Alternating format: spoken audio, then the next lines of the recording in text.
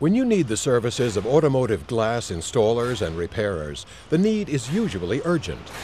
Whether due to theft or an accident, a broken car window renders an important part of someone's life vulnerable to rain, snow, cold, and criminal intent.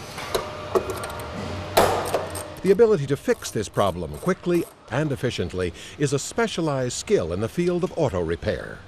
Glass installers carefully remove broken, cracked, or pitted windshields and window glass. This part of the job can be learned quickly, but the more complex part of the operation requires training. Okay, what you want to do is apply the primer all to the scratched areas. You might get it when you're hired at a small automotive body repair shop, or you can learn how to do it in an automotive body repair training program at a factory, high school, private trade school, or community college.